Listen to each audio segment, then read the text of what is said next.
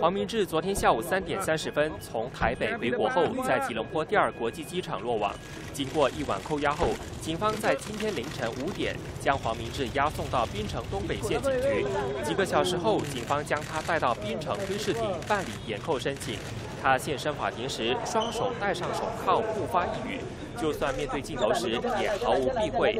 黄明志早前因为和一个台湾组合发布一首名为《Oh My God》的音乐录像带，里头四名男子在槟城的寺庙、清真寺、印度庙以及教堂里载歌载舞，引起轩然大波。